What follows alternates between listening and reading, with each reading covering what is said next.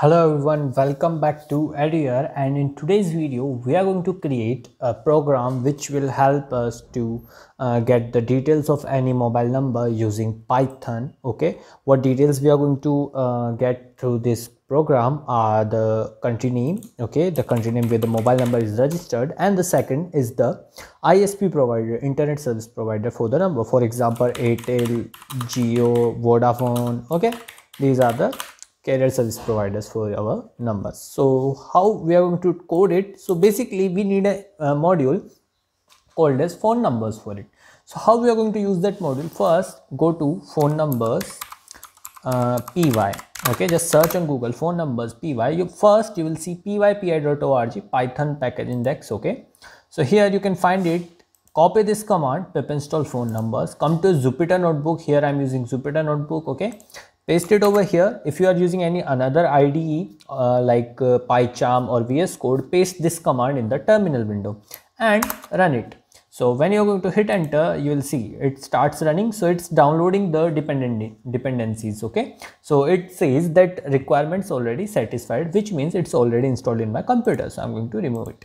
Okay now my module is installed. Now i'm good to go with the code. So what i'm going to do first i will import it. So write import phone numbers okay done.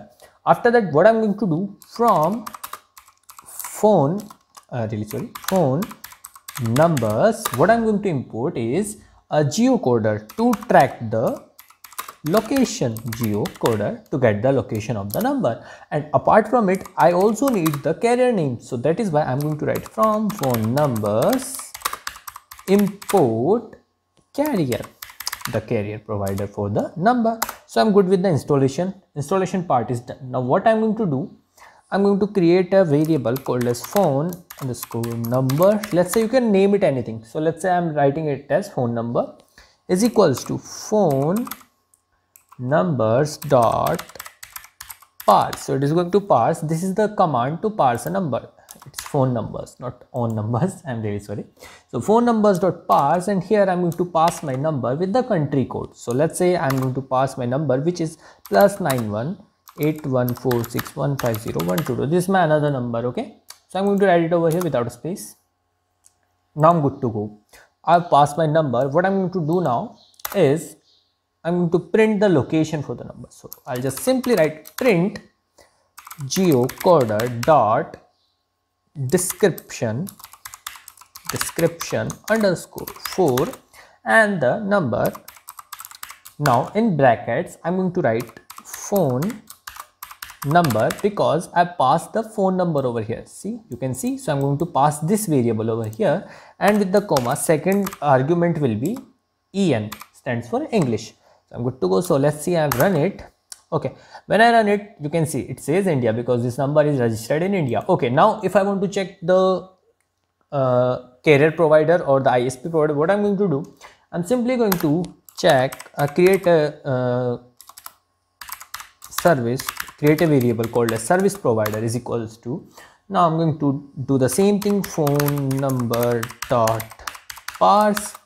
Okay. So uh, I have to do the same thing but as you know I've already parsed the number here. So what I'm going to do I'm, I can remove this line and I can simply write print and then carrier dot carrier dot uh, name for underscore number.